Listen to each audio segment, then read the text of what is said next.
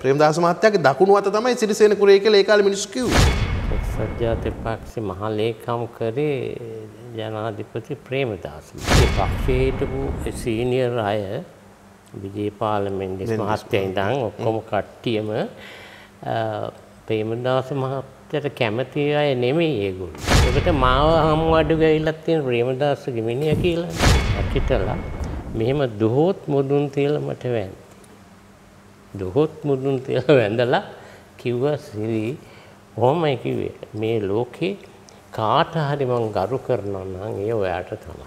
ජනාධිපතිතුමා කියනවා ඔක්කොම කියනවා මේ ෆුල් ටයිම් සෙක්‍රටරි කෙනෙක් දාන්න ඕනේ කියලා. එහෙම කිව්ව මට. ඉතින් අර දොහොත් මුදුන් දීපු මේ කියන්නේ. යම් කිසි කණ්ඩායමක් මේක හිතාමතා කරගත්තද කියලා. දැන් ඔබතුමා කියන්නකෝ. ඇවිල්ලා ඩෝ කියනවා මට. ඒතර මම අහන්න ඕනේ මොකද ඩෝ කියලා. අද එක්සත් ජාතික පක්ෂ මොකද වෙලා තියෙන්නේ? මොකද එදා ඉලෙක්ෂන් එක ඉවරනකොට මම හිටියේ ඕස්ට්‍රේලියාව. ඇත්තට මට ඇඬුණා. ප්‍රේමදාස මහත්තයා එක්සත් ජාතික පක්ෂයේ හිටියට එයාට ජයජාවදන මහත්තයලා කොච්චර අරියාදු කරුවත් පක්ෂය දාලා ගියාද? මම මේ කියන්නේ මම රනිල් මහත්තයා කිසි කෙලියගුණයක් දන්නේ නැති මිනිහෙක්. ඒක හරි. ඔබතුමා හිතන විදිහට මේ රටේ ඔබතුමා දකින විශිෂ්ටතම ජනාධිපතිවරයා කවුද? ප්‍රේමදාස. අද අසංග ලයිව් බොහොම සුවිශේෂ කෙනෙක් හොයාගෙන ආවා. විශේෂයෙන්ම අසංග ලයිව් නරඹන අය මේ රටේ කතා බහට ලක් වෙන සුවිශේෂ අය පිළිබඳව සාකච්ඡා කරනවා නම් හොඳයි කියන යෝජනාව අපිට දීලා තියෙනවා. එහෙම මේ රටේ ජීවත් වුණු බොහොම වැඩ රාජකාරී බොහෝමයක් ඉෂ්ට කරපු විශේෂයෙන්ම මේ රටේ දුගී දුප්පත් ජනතාව වෙනුවෙන් මහ විශාල සේවාවක් කරපු සුවිශේෂ චරිතයක්. ඔහු නමින් සිරිසේන කුරේ මැතිතුමා. ආයුෂ බොහෝ වේවා කියලා පිළිගන්න ඔබතුමා. එසේම වේවා කියලා මම ප්‍රාර්ථනා කරනවා. ඔබේ ජීවිත කාලයේ වැඩිම ප්‍රමාණයක් කැප කරන්නේ මහ ජනතාව වෙනුවෙන්. මහ ජනතාවත් එක්ක මේ ගනුදෙනු කරන පාලම හැදෙන්නේ එක්සත් ජාතික පක්ෂය හරහා. ජීවිතය වගේ තිබිච්ච එක්සත් ජාතික පක්ෂයෙන් දේශපාලනයෙන් ඇත්තටම ඇයි සමුගත්තේ ඔබටත් වැඩිය ගොඩක් වයසයි තවමත් දේශපාලනය ඉන්නවා. මං ඉස්සල්ලා මහන්ඩ කැමති ඔබතුමාගේ වයස් දන්නේ අපිට නම් එදා දැක්ක වගේම තමයි තාම පේන්නේ. ඒක තමයි. එහෙනම් අහන්න එපා. වයස කියන්නේ නැහැ නේ. හොඳයි. නෑ එහෙමයි. මම එක්සත් ජාතික පක්ෂයකට එක්කසු වුණේ අපේ තාත්තා නිසා. අපේ තාත්තා ඉස්සර අමාධ්‍යප ව්‍යාපාරය තුලින් තමයි ඒතකොට මේක ආරම්භක සමාජිකෙක් අපේ තාත්තා. ඒ කාලේ තමයි ඉතින් අපි UNP වුණේ අපි දන්නේ නැහැ UNP මොනවද කියලා. තාත්තා නිසා සාත්තා UNP නිසා නිසා අපිත් UNP වුණා. එහෙම වුණේ. එතකොට ඊට පස්සේ මේ එක්සත් ජාතික පක්ෂය තරුණ සංගමය හැදුවා. ඒකේ ශාඛාවල් හැමතැනම හදනකොට පළවෙනි ශාඛාව හැදුවේ කොළඹ. ඒ පළවෙනි සහකාවේ සභාපති වුණේ මම. තරුණ සංගමේ සභාපති වුණේ. ඒ කාලේ ඉඳන් ඉතින් තමයි අපි ඉතින් එක්සත් ජාතික පක්ෂයට මේ වෙලා ඊට පස්සේ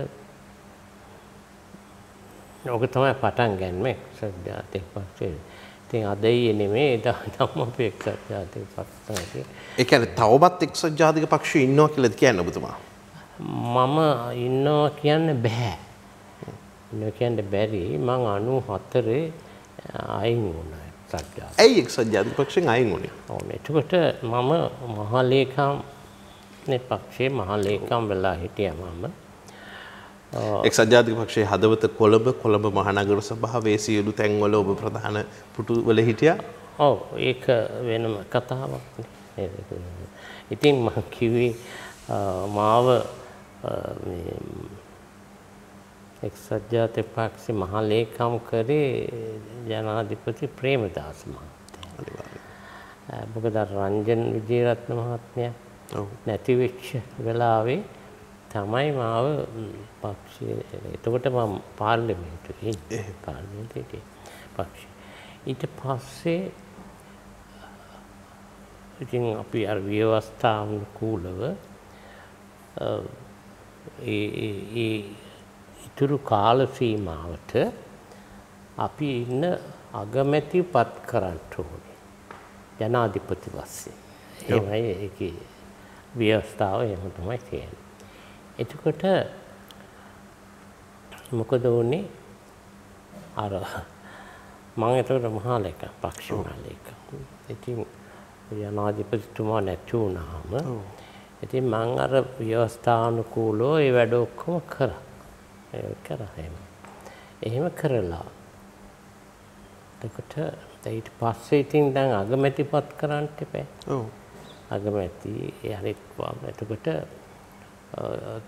මම ඉන්නක එක දවසක් මට තාම මතකයි චොක්සි මහත්තයා. චොක්සි මහත්මයා. චොක්සි මහත්තයයි. සුනිල් රොඩ්රිගු කියලා මේ මේ කියන්නේ එයත් ලෝය කෙනෙක්. අපි ලේකවුසගේ චයාමන් වෙලා හිටියේ ඇසුරින් රොඩ්.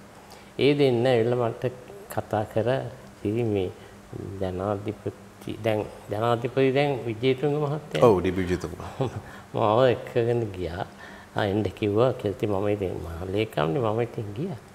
ගියාම ඉතින් එයා ඉතින් හොඳට කතා කරලා එයා මට කිව සිරී සිරී කියලතනට කතා සිරී දැන්කා මෝම කියනවා. ඔයාට තමයි පාර්ලිමේන්තුව වැඩි දෙනෙක් කැමති ඔයා අගමැතිකම ගන්න කිව් බහුතර කැමැත්ත. බෞතරය කැමැත්ත තියෙන යාට ඒක කරන්න කියලා කිව්වා. එතුර මංකෝ ඒසර් ඕව කරන්න යන්න එපා. මම කිව්ව. එහෙම ඇත්තටම කිව්ව. අරගු ලොක්කෝ පුදු වුණා මේක ආගෙනල්ල මම කිව ඒව කරන්න එපා. මම මම මේක පක්ෂි මහාලේකම්නේ. මට ඕන කරන්නේ ඔක්කොම ප්‍රශ්නයක් නැතුව මෙතන වැඩ කරන්න ඕන. ඒක නිසා මාව පත් කරට මන් දන්නත් වැඩි දිනෙක් කැමැත්ත තිය ඒ ඒක ප්‍රශ්නය අපිට තියෙන අපේ පක්ෂය ඇතුළි පක්ෂය ඒ පක්ෂය හිටපු සීනියර් අය විජේපාලමෙන්ඩෙස් මහත්තය ඉඳං ඔක්කොම කට්ටියම ප්‍රේමදාස මහත්තයට කැමති අය නෙමෙයි ඒගොල්ලු. එතකොට මාව හමු අඩු ගයිලත් තියෙන ප්‍රේමදාස ගිමිනිය කියලා. අනිවාර්යයෙන්. නේද? ඒක කවුරුත් දන්නවනේ. ඉතින් මම හිතුවා දැන් මෙහෙම එකක් ගත්තොත් මෙතන ප්‍රශ්න ඇති වෙන්න පුළුවන්. ඒක නිසා මම ගොස මම කියන්න වැඩක්. ප්‍රශ්න ඇති කරගන්න එපා. අපි මෙහෙම කරමු. එතකොට දැන් එයා අගමැති රනිල් මහත්තයා මේ පාර්ලිමේන්තු දෙවෙනියනය නේ මං කිව්වා දැන් අපි දැන් සීනියෝරිටි පිළිවෙලට තමයි යන්න ඕනේ. දැන් ගෞතම අගමැති නිසා අපි දැන් ඔයාව ජනාධිපති කරා. ඔව්. ඊට පස්සේ රනිල් මහත්තයා තමයි සභානායක. එයාව දාන්න එතනට. තුර මේ ප්‍රශ්නයක් එන්නේ නැහැ. දැන් ඔබතුමා තමයි මේ යෝජනාව ගේන්නේ. ඕ මම කිව්වේ මම කිව්වේ මම කිව්වේ මෙහෙම කරන්න. එතකොට ඉතින් මේගොල්ලෝ ඔක්කොම දැන් පුදුම වෙනවා මේ මේ Tamanට දීපු අවස්ථාව වගේ පිස්සෙක් ඉන්න මේ මේ මේ මේ වගේ අවස්ථාවක් කවුද පයි කියන්නේ මන් දන්නවා මට කරන්න පුළුවන් ඒකට මං බැලුවේ මා ගැන නෙමෙයි පක්ෂය ගැන. පක්ෂය ගැන මම බලන්නේ හැබැයි ඔබ ඔබතුමා විශ්වාස කරනවද මේ මේ අතුරු ප්‍රශ්නයක්? එදා ඒ ගත්ත තීරණය හරි කියලා. හරි නෑ එදා හරි කියලා හිතුනට අද හරි නෑ. අද හරින අද නෙමෙයි එවලෙම මට දන්න මගේ යාළුවොක්කොම මට හරියට දොස් කිව්වා. එතනේ මේ මම මේ කියන්න යන කතාව ඒක නෙමෙයි. ඉතින් දැන් මෙයත් දන්නවා කියන්නේ මෙතන ප්‍රශ්න ඇති වෙයි කියන කතාව විජේතුංග මහත්තයා දන්නවා. මට වැඩි දිනෙක කැමති තිබුණට දැන් පක්ෂී ඇතුලේ ඉන්න සීනියර් අයනේ ඔක්කොම ඒගොල්ලන් අතර ප්‍රශ්න ඇති වෙන්න පුළුවන් කියලා එයා දන්නවා. එයා හිතුවේ නෑ මේ මෝඩය මේක එපයි කියලා. එයා කිව්වාම විශ්වාස කරන්න මම මේ බොරු කියනවා නෙවෙයි. එයා නැකිට්ට නැකිටලා මෙහෙම දුහොත් මුදුන් තියලා මට වැන්දි. දොහොත් මුදුන් තියලා වැඳලා කිව්වා සිරි කොහොමයි කිව්වේ මේ ලෝකේ කාට හරි මං ගරු කරනවා නම් ඒ ඔයාට තමයි. එහෙම කිව්වේ. ඉතින් මම හිනාවල එහෙනම් මේ සභානායක නෑ මං කිව්වේ ඒක කරන්න එපා. මෙතන ඉන්න සීනියර් මෙක් කෙනා තමයි විජේපාල මෙන්ඩිස් මහත්තයා. එයාව සභානායක කරන්න. මට ඕනේ පක්ෂයේ හරියට ගෙනියන්න. මට මේ තනතුරු ඇති මං කවදාකවත් තනතුරු තනතුරු ඇති වෙලකන් හිටියා ඒ වෙද්දි තනතුරු පස්සේ ගිය මිනිහෙක් නේ මම මාව බලෙන් තමයි හැම වෙලාවෙම මේවට දාගත්තේ. ඇත්තට මං කවදාකවත් තනතුරු පස්සේ ගියේ නැහැ. ඉල්ලන්න ගියෙත් නැහැ කවදා. ඉතින් පස්සේ ඉතින් අර මට අනිත් අයට පුදුම වුණා මම මෙහෙම කිව්වා කියලා. ඉතින් ඒ වුණාට අර ජනාධිපතිතුමා එයත් ඉතින් නැකිල්ල හොමට වැඳලා ඉතින් ඔක්කොම හරි කරා. ඔබ ඊට පස්සේ පක්ෂයෙන් නෑ ඊට පස්සේ නෑ මම පස්සේ මහලේකම් නෙමෙයි. එහෙමයි. ඉතින් ඔහොම හිටියා. ඉතින් දැන් මම මට පේනවා මේගොල්ලෝ මේ කරන පිළිවෙල හරිය නැහැ.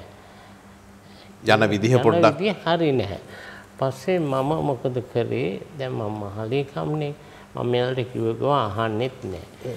ඊට මම ලිපියක් ලිව්වා. මාළේ ලිපි තියෙනවා. කවිය.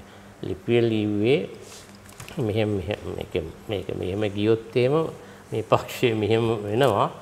ඒක නිසා ගන්නවා කළා මේක මෙහෙම හදන්න කියලා මම පිටරට ගියා. පිටරට කියන්නේ නිකන් මොකක්ද ඒකට මම ගියේ ඔෆිෂල් වැඩකට. මං කිව්වා මේක. එතකොට ඒ ලිපියේ කොපියක් රනිල් මහත්තයන් එතකොට අගමැති. ඔව්. එයාට විතරයි දුන්නේ. මම කාටවත් මේක දෙන්නත් එපා ප්‍රසිද්ධ කරන්නත් එපා. මේක බලලා කරන්න කියලා මම කිව්වා කියලා. එතකොට ඔහොම තියලා මං ආව මොකොත් මේගොල්ලෝ කරලා තිබුණේ නැහැ. මම ආපු දවසේම මට තාම මතකයි මේක කතාව. චොක්සි මහත්තයමයි තිබුණ හිතවත්. එයා කිව්වා සිරි මේ ජනාධිපතිතුමා එන්න කිව්වා කියලා. එයත් එක්ක යන්න කියලා ගියා. ඉතින් ගියා. ගියාම එයා කිව්වා මට සිරි මේ ඔක්කොම කියනවා ඕක මේ පක්ෂයේ අර ලේකම් වටින් අස්සුනේ කතාවනේ ඇහුවේ. ඒකට මම මේ උත්තරේ දෙන්නේ. පක්ෂෙන් අයින් වුණේ. අය පක්ෂෙන් අයින් වුණේම පස්සේ. ඉතින් එයා කිව්වා මේ ඔයා මේ කවුද මේ ජනාධිපතිතුමා කියනවා ඔක්කොම කියනවා මේ ෆුල් ටයිම් සෙක්‍රටරි කෙනෙක් දාන්න ඕනේ කියලා. එහෙම කිව්ව මට. ඉතින් අර දොහොත් මුදුන් දීපු මේ කියන්නේ. ඔව්. කියනවා. කිව්වා මම කිව්වා අයියෝ කොච්චර හොඳද? ඇත්තට මම කිව්වා. මේ ගොඩු කැක්කුම යන විදිහත් හරි නෑ. ඔව් හරි නෑනේ මටත් ඕනේ කරලා තුනවා යන්න. ඉතින් උනට මං එහෙම ගියේ නෑනේ. ඉතින් මේකේ මෙහෙම කිව්වා මං එහෙම කිව්වම මේගොල්ලෝ පුදුම වුණා ඒක. ඒ පාරික හැබැයි මම එකක් කියන්න. මම මං අස්වීම ලිපිය දෙන්න. දැන් දෙන්නේ නෑ. දැන් දෙන්නේ නෑ. මේ මැයි පළවෙනිදා ප්‍රේමදාස පිළිරුව මම විවෘත කරන්න ඔබතුමත් එන්න ඕනේ ඔක්කොම එන්න ඕනේ. ඒකේ ඉවර වෙලා ඇවිල්ලා මං අස්සෙන් ලිපිය දෙන්නම් කිව්වා. හැබැයි එතකන් මේක ප්‍රසිද්ධ කරන්න එපා කිව්වා. මං එහෙම කිව්වා. ප්‍රසිද්ධ කරන්න එපා මම මේම අස්සෙන්නවා කියලා. නමුත් මේක ප්‍රසිද්ධ වුණා. පත්තරේ එහෙම ගියා. එතකොට මම මම පත්තරේට කිව්වා මාව අස් කරන්නත් බෑ මං අස් වෙන්නෙත් නැහැ කියලා එහෙම කිව්වා. ඒ කිව්වට හරියට මැයි පළවෙනි උත්සවයේ තියෙනවනේ. මෙයාව තමයි ආරාධනා කරි ජනාධිපතිනේ මේකේ මේවා කරන්නේ ජයා ජාවදන මහත්තයත් එනවා එදාට. මට ඊට ඉස්සෙල්ලා රාත්‍රියේ මෙහෙට එන්න කිව්වා. මේ ජනාධිපති මන්දිරයට එන්න කිව්වා. එනට ඔක්කොම මේ පොලිස් සාමි කට්ටිය ඔක්කොම හිටියා. ඒගොල්ලෝ අරයා කියනවා මේගොල්ලෝ ඔක්කොම කියනවා එදාට මොකක් හරි කලබලයක් වෙනවා කියන කතාවක් මෙතන ගිහිල්ලා තියෙනවා. පස්සේ මම මේවා දන්නේ. දීලා ඒකට කියවලා තිනා මෙහෙම මෙහෙමයි ඒක නිසා අපි ජනාධිපතිතුමාට කිව්වා අ, මේ උත්සවයට යන්න එපා කියලා. බලන්නකෝ. සිකරිටි රීසන් එකක් දානවා. රීසන් එකක් දාලා මොකක් නෑ හේතුවක්. ඇති ඒගොල්ලන්ට ඒවා මේ ඔළුව නරක් කරන්න මිනිස්සුන්ට දානවනේ. සහ ඒ කාලේ ඔය LTT ප්‍රශ්න තිබුණානේ. LTT හින්දා නෙමෙයි. මේක වෙන කතාව. LTT කතාවයි මේකයි වෙනස්. ඒක පස්සේ මට දන්නේ ඒ කතාව. එතකොට මේගොල්ලන් මේ සිකියුරිටි අය කිව්වා කියලා තමයි මේක මොන හරි කියන්නේ ඇත්තේ. ඒකිනින්දා අපි කිව්ව මේ ජනාධිපතිතුමාට මේකට එන්න එපා කියලා. එදාට මොකක් හරි වෙයි කියලා. ඒ කියන්නේ ඒගොල්ලෝ මම හිතන්නේ ප්ලෑන් කරේ මේ හිතන මම ප්ලෑන් කරලා මෙයාව මොන හරි කරන්න යනවා කියන හැඟීමක් මෙතන අදහසක් ඇති කරා. ඒක තමයි මට තේරුණා කතන්දරේ. මං කිව්වා එහෙනම් මොනවද කරන්නේ? අයියෝ ඕක සුළු වැඩක් නේ. මම ඔහොම කිව්වා. ඔක්කොම අප්සෙට් වුණා. මම කිව්වා කවුද එනං දැන් මං කිව්වා නෑ කවුරුත් ඕනේ නෑ. මං මැද කොළඹ ඉන්න දුප්පත්ම මිනිහ ගෙනල්ලා ඕක විවෘත කරනවා කිව්වා. ඔක්කොම අප්සෙට් වුණා හරියට මං මෙහෙම කිව්වහම එයා දැනගලු දැනගත්තා මම මේ තරහ ගිහලා කියන්නේ එහෙම එහෙමනේ hina වෙලා මං කිව්වා ආ ඕක කමක් නෑ මෙහා වෙන්න දරට කමක් නෑ. ඔහොම මං කිව්වා. මම මැද කොළඹ ඉන්න දුප්පත්ම මිනිහම ගෙනල්ලා ඕක විවෘත කරනවා කිව්වා. කියලා මම නැගිටලා එන්න ආවා. ඇවිල්ල මං ජයජාවදන මහත්තයට ටෙලෆෝන් කළකෝ සෝ මේ දැන මේවා කියන්න කියන එයා එවෙන්න ඔබතුමා මේක විවෘත කරන්න. පස්සේ එයා තමයි එදා මේ පිළිරුව සල්ලාම හැකි පිළිරුව විවෘත කරේ ඇයි පල්ලවෙනි දැන් මම හිතන්නේ පැහැදිලි වුණා එක්සත් ජාතික පක්ෂයෙන් ඇයි ඇයි අයින් වුණේ කියලා ඒක මං තනතුරු. කියන්න ඕනේ මං පොරොන්දු වුණානේ මේකෙන් පස්සේ එනවා. කියලා ඔව්. එතනම ඉඳන් මම ලියලා තිබුණේ ඒ උත්සවය ඉවරලා ගිහලා කෙලින්ම මේ ලියුම දුන්න එතනට. අස්සේ මේ ලියුම. මම පොරොන්දු වුණා දෙනවා කියලා. ඊට පස්සේ නේද මේ කොළඹ මහනගර සභාවට ආයෙත් වතාවක් ඔව්, ඒ- ඔබතුමා ඇතුළු කණ්ඩායමක් දාලා. හුඟක් පස්සේ ඇත්තටම යම් ඒ සිදුවීම ඇතුළේ තිබ්බේ දේශපාලන මේ රැවටීමක්ද නැත්නම් හිතාමතා යම් නෑ. කණ්ඩායමක් එක්කලාද නෑ නෑ එහෙම නෙමෙයි. දැන් මං අයින් වෙලා හිටියේ. ඉතින් මෙතන මම ක- පක්ෂේ එතකොට ඒ විජේතුංග මහත්තයා නෑනේ. ඔව් රනිල් මහත්තයානේ. නයි ඔව් විජේතුංග මහත්තයා නෑ. එතකොට ඒගොල්ලෝ මොකද කරේ? අ, ඒ ඒගොල්ලෝ ඔක්කොම කතා කරලා මොරගොඩ මිලින්ද මොරගොඩ ඇමතුමා එයා තමයි මට ටෙලිෆෝන් කරනවා. එත- එතකොට පිට කොහෙද ගිහිල්ලා හිටියේ? එයා කතා කළා කිව්වා ඕස්ට්‍රේලියාව මං ගිහින් එයා කිව්වා මේ ඔක්කොම කියනවා. අය මේ අපි කොහොම හරි මේ මේ නගර සභාව දිනන්න ඕනේ. ඒ කියලා මට ඇවිල්ලා මේක තරඟ කරන්න කියලා මට කිව්වා මේකේ අස්සමුල්ල හැමතැනම දන්න කෙනාන ඔබතුමා ඔව් ඉතින් මම හිටපු කෙනන අවුරුදු 10ක් මම ඒකත් මම මැලේසියා තානාපති වෙලා ඉන්නකොටනේ මාව ගෙනාවා. ඔව්. ගෙනල්ලා මම දැන් අවුරුදු 10ක් හිටියේ. කියලා. මොකද දැන් අපේ ආණ්ඩුව නෙමෙයිනේ. තියෙන්නේ. එතකොට මොකද වුනේ? මම යාට කිව්වා මං එන්නම්. හැබැයි එක පොරොන්දුවක් දෙන්න ඕනේ. එක තමයි මගේ ටිකට් එක දෙන්න. ටිකට් ෆෙයාර් එක දෙන්න ඕනේ ඒක එක. අනිත් එක මේ මේ මිනිස්සුන්ගෙන් අහන්න. එම්.එච්. මොහොමඩ් මහත්තයන් අහන්න. මොකද කොළඹනේ. ඔව් එහෙම කියලා මම කීප දෙනෙක්ගේ නම් කිව්වා. හොඳ හොඳයි කිව්වා. ඉතින් ඒගොල්ලෝ මොකද කරන්නේ රනිල් මහත්තයයි එයයි හැමෙට් මොහොමඩ් මහත්තයා තවත් කවුද හිටියා. ඒගොල්ලෝ ඔක්කොම එක තැන ඉඳගෙන මට ටෙලිෆෝන් කරා එහාට. ඔක්කොම එක්ක කිව්වා මට එන්න කියලා. ඉතින් මං කිව්වා හොඳයි කියලා මම ආවා. ඇවිල්ලා ඉලෙක්ෂන් එක කරලා මේ මේ කරන්න ආවම ඉතින් ඔක්කොම ඒගොල්ලෝනේ මේ මම එනකොට මේගොල්ලෝ මේක හදලා තිබුණා නාම යෝජනා නාම යෝජනා ලයිස්ට් හදලා තිබුණේ පස්සේ මගේ නමත් තෙන්ට දාලා දැන් මම දැක්කේ නෑ මං මට පෙන්වන්න කිව්වා මේ මිනිස්සු මන්ට පෙන්නුවේ නෑ මොකද ඔබ ඒ හොඳට දන්න කෙනෙක් කවදාවත් ඔබගේ පරීක්ෂණයට ලක්වුණා එක රිජෙක්ට් වෙන්නේ කවදාක්වත් වෙන්නේ නැහැ. මම දන්නවනේ මං. මම ඒකයි අහන්නේ යම්කිසි කණ්ඩායමක් මේක හිතාමතා කරගත්තද කියලා. හිතාමතා කෙරවාද මට කියන්න බෑ. නොත් මං ඒ චෝදනාව කරන්නේ ඉතින් අද පක්ෂ දිහා බැලුවාම ඒ ඒ දේවල් එතනින් පටන් ගත්ත එක තමයි ඒක උනේ. එතන ඒකේ තමයි අර අර අතන්ට ගියාම එතනට ගියාමත් මම දැක්කා. හුඟක් ඒවා මේ වගේ මම හදලා දුන්නා ඒ වෙලේ. ඒක දෙන්නේ ඉස්සෙල්ලා. එතන ඉඳන් මම හදලා දුන්නා. ඉතින් මේ ප්‍රශ්නය වෙනස් හේම් පිටින්ම. මම අදත් කියනවා ඒ එදා මහින්ද දේශප්‍රිය මහත්මයා. ඔව් එදා එයා තමයි හිටියේ මේ දෙවැනිය එතකොට එයා තමයි එදා හිටියේ මේ නොමිනේෂන් බාර ගන්න. එතකොට මම පිටිපස්සේ ඉතින් මට තැනක් නැහැනේ. ඉතින් මම මම මේ වුණාට අරගොල්ලෝ තමයි ඔක්කොම හදලා දීලා ඔක්කොම බාර දුන්නා. මම මම පිටිපස්සේ හිටියේ. මං හාගෙන ඔය මහින්ද දේශප්‍රිය මහත්තයා කතා කරනවා එදා හිටපු කොමසාරිස් එක්ක. එයාට කිව්වා මෙන්න මෙහෙම එකක් තියෙනවා මෙහෙම මෙහෙම කියලා කිව්වා. ඒතර මම මම අහගෙන හිටියා. මම දැනගත්ත ඒකෙන් මුකුත් වෙන්නේ නැහැ කියලා.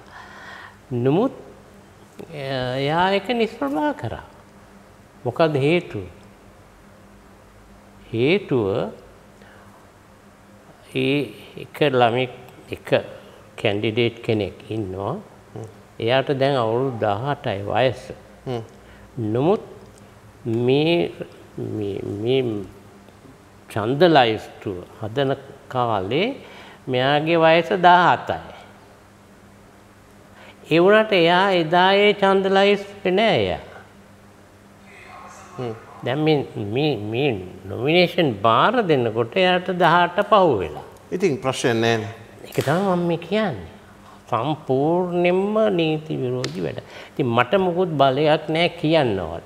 ඒතර අර මේගොල්ලෝ හිටියන්නේ අපි ලොකු කමියුනිටි ඉන්න මම ඉතින් කිව්වා මේගොල්ලන්. මේක හරි නෑ මේක එහෙම පිටින්ම වැරදි කියලා. එතකොට මොකද වුනේ? නෝත් නිෂ්ප්‍රභා කරා. දැන් දැන් අපි අහලා තියෙන්නේ මේ රටේ මිනිස්සු සාමාන්‍යයෙන් කතා කරන්නේ ප්‍රේමදාස යුගයේ නිතරම ඔබතුමාගේ නම කියවුණානේ. ඒ ඒ නම කියවුනේ වැඩ කරපුව වගේම මිනිස්සු හිතුවේ ඔබ බොහොම දරුණු සැරපරුෂ කෙනෙක් කියලා. ඇයි ඇයි මෙහෙම කතාවක් මේ සමාජ මිනිස්සු කොහෙන්ද මතුනේ මේ කතාව? ඒක ඇවිල්ලා මෙහෙමනේ මං කටින් ගහන්න දන්නවනේ. මං අතින් ගහන්නේ කටින් ගන්න. මං පුරුදු වෙලා තිනවා ඉස්සර තියෙනවා මේ එකක් ඔය එක එක ශාස්ත්‍ර තියෙනවනේ. වායි පඩිනම් කියලා එකක් තියෙනවා. වායි පඩිනම් කියන කටින් ගහන එක. දැන් මම උදාහරණයක් වශයෙන් කියන්නම්. දැන් දැන් ඔබතුමා කියන්නකෝ ඇවිල්ලා ඩෝ කියනවා මට. ඒතර මම අහන්න ඕනේ මොකද ඩෝ කියලා. අඩෝ කියලා නිකන් හිටියොත් එයා ඉස්සරහට එන. මොකද ඩෝ කිව්වොත් එක කකුලක් පස්සට දාන්න. මම හිතන්නේ ඒකට හොඳ උත්තරයක් හම්බුණා. දැන් දැන් අද එක්සත් ජාතික පක්ෂයට මොකද වෙලා තියෙන්නේ? කෙටියෙන් උත්තරයක් දෙන්න. අනිත් නෑ එක්සත් ජාතික පක්ෂ මං හරියට මං මේ මේ මං කියන්න කැමති නෑ මොකද එදා ඉලෙක්ෂන් එක ඉවරනකොට මම හිටියේ ඕස්ට්‍රේලියාව. ඇත්තට මට ඇඬුණා. මට ඇඬුණා. තාම ලේවල දුවන්නේ කොළ පාට. ඔය ඉතින් අපි වෙන පක්ෂයකට ගිහිල්ලා නෑනේ. මං ඒ ජනාධිපතිවරණේ අපි අර මෙයා මං කිව්වර උදව් කරා ඒ ඒක වෙනයි. දැන් කි මේ ඉලෙක්ෂන් එක මට හිතුණා අයියෝ මේ පක්ෂයට මොනවාද වුනේ කියලා. එක ආසනයක්වත් නෑ. ඒ කියන්නේ එක එක එක മന്ത്രി ආසනයක් ලැබුණා ඒ සමස්ත අර ප්‍රතිශතයෙන්. මේකෙන්නේ වැටුනේ. ඒ ප්‍රතිශතයෙන්නේ ආ එක්කෙනෙක්වත් දෙන්නේ නැහැ නේ. එක තැනක්වත් දෙන්නේ නැහැ. මට ඉතින් හරි හිතට අමාරුවක් ආවා. ඉතින් දැන් ඊට පස්සේ මොකද වුනේ එතන? දැන් අර පක්ෂයේ හිටපු මිනිස්සු නේද කඩලා ගිහිල්ලා මේ ඔව් දැන් දැන් අ, මේ මේ සමාජයේ ඔබ බොහොම නිහඬවන ඉන්නේ දැන්. ඔබ තැන් තැන්වල අද- අදහස් ඉදිරිපත් කරමින් නායකත්වය ඒවා හොයාගෙන යන කෙනෙක් නෙමෙයි. ඔබතුමා ප්‍රේමදාස මහත්මයාත් එක්ක බොහොම ළඟින් හිටපු කෙනානේ. ඒ ඒ දැවැන්ත සංවර්ධනය කරන්න ප්‍රේමදාස මහත්තයාගේ දකුණු අත තමයි සිරිසේන කුරේ කියලා ඒ කාලේ මිනිස්සු කිව්වේ. ඒ හින්දා මිනිසුන් තුල මතයක් තියෙනවා ඔබතුමා එක්සත් ජාතික පක්ෂයනුත් අයින් වෙලා දැන් සජිත් කණ්ඩායමට එකතු වෙලා දින්නේ කියලා. මේකට පැහැදිලි උත්තරයක් ඕනේ. නෑ නෑ නෑ කොහෙත්ම නෑ. මාව හම්බ වෙන්න ආව නම් එදා මේ ප්‍රක්ෂය ඇති වෙන්නේ නෑ. මම දැන් ඕගොල්ලෝ මේ දේශපාලනය ගැන දන්න මිනිස්සුන්නේ කතා කරන්නේ නේද? දැන් පහ පසුගිය ප්‍රේමදාස මහත්තයා කාලේ බලන්න අපි ප්‍රේමදාස මහත්තයා එක්සත් ජාතික පක්ෂයේ හිටියට එයාට ජයජාවදන මහත්තයලා කොච්චර අරියාදු කරුවත් පක්ෂය දාලා ගියාද? නෑනේ. වෙලා වෙනකන් හිටියා. වෙලා වෙනකන් හිටියා. අන්තිම එයාට වයසට ගිහිල්ලා දැන් අද මෙයා වයසකට නැහැනේ. මේ කරපු වැඩේ හේම් පිටිම මම අනුමත කරන්නේ. මම ප්‍රසිද්ධිය කියන එක මම මේ ඒ කියන්නේ මම මුකුත් සාප කිරීමක් කරනවා නෙමෙයි අර එදා මාව හම් වෙන්න ආව නම් මම එයාට කියන්නේ.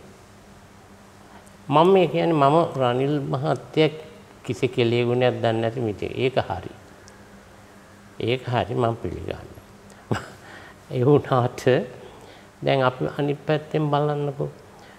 මොන වුණත් දැන් ප්‍රේමදාස මහත්මයා එච්චර පක්ෂයේ වෙනින් වැඩ කරව මිනිහට ඒ පක්ෂය ඇතුලේ අරුයාදු තිබුණා කොච්චරවත්. නේ නායකත්වයේ අරුයාදු තිබුණා. එයාට දුන්නේ අර පරදින්නනේ දුන්නේ. මම නැත්තම් පරදිනවා. නෑ මම මේ කියන විහිළුවට කිව්වේ. නෑ මම කිව්වේ එයා එහෙම හිටියත් කොහොම හරි ආවනේ නේද? එතකොට දැන් බාන්න සජිත් මහත්තයා ප්‍රේමදාස මහත්තයා එයා පිටරටනේ හිටියේ. එයා ඇවිල්ලා පක්ෂය වෙනුවෙන් වැඩ කරන්න වෙලාවක් තිබුණේ නෑ එයාට. ඒකට මොන ක්‍රමයෙන් හරි රනිල් මහත්තයා එයාට දුන්නනේ උප මොකද නියෝජ්‍ය නියෝජ්‍ය නායක. නායකම්. ඒක ලොකු වැඩක් නේ. ඉතින් අපි කිලියුනේ තියාගන්න ඕනේ. ඔබතුමා හිතන විදිහට මේ රටේ ඔබතුමා දකින විශිෂ්ටතම ජනාධිපතිවරයා කවුද? ප්‍රේමදාස වෙනකම්.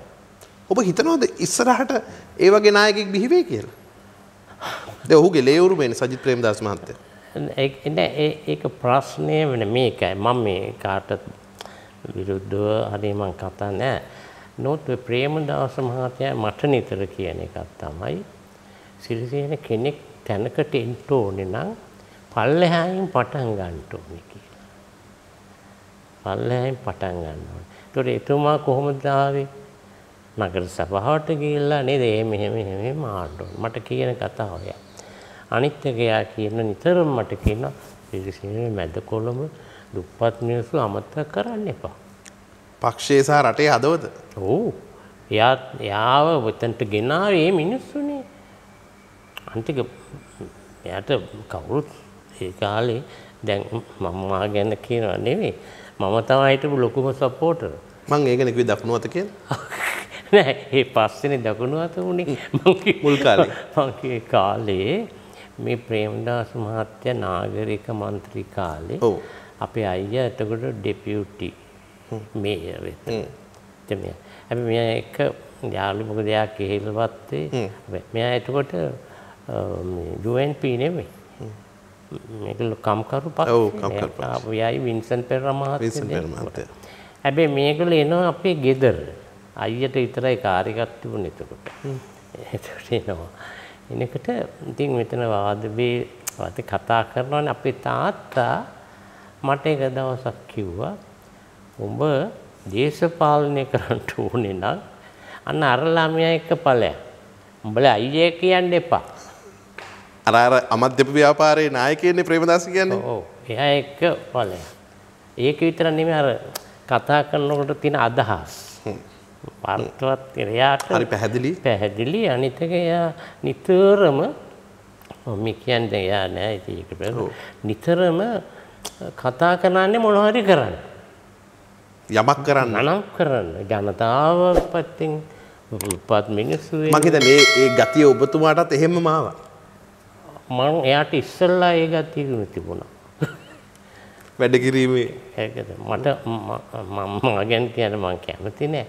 ඒ ඒ කාලේ තරුණ සංගමෙන් නම් මම හොඳ සංවිධායකයෙක්. හැබැයි මං කියවන්නේ. වැඩ කරනවා. අපි මහිතන්නේ අසංග ලයිව් මේ වැඩසටහන් මාලාවේ කරපු දීර්ගතම වැඩසටහන ඉතා වේගෙන් කාලෙ ගත වෙලාගයා මොකද ඔබ වෑනි කෘතහස්ත දේශපාලකයෙක් මේ මිනිසු තවමත් ඔබේ නම මතකයි. සිරිසයන කුරේ අද කොහෙදින්නේ මොනව කරන ඇද කියලා හොයට මිනිස්සු ඉන්නවා. ඒ විනිස්සු වෙනුවෙන් අපේ ප්‍රේක්ෂකාගාරය වෙනුවෙන් මේ රටේ ජනතාව වෙනුවෙන් කරපු ඉල්ලීම බොහොම ගෞරවයෙන් පිළිගත්තට හරිම අපි ස්තුතිවන්ත වෙන ඔබතුමාට. මොකද ඔබතුමා හෙම මාධ්‍ය හොයාගෙන යන්නෑ අවුරුදු ගානකින් කිසිම මාධ්‍යක පෙනී හිටලත් නෑ. එනිසා මේක අපිට ලැබුණු බොහොම සුශේෂ අවස්ථාවක්. අපි ඔබතුමාට බොහොමත්ම ගරු කරනවා. ඒ වගේම නිදුක් නිරෝගී චිරජීවනය වේවා කියලා ආශිර්වාද කරනවා. ආයුෂ බොහෝ වේවා කියලා ප්‍රාර්ථනා කරමින් සමුගන්නවා. අපි ආයි දවසක යමක් කතා කරන්න පුළුවන්කම ලැබේ.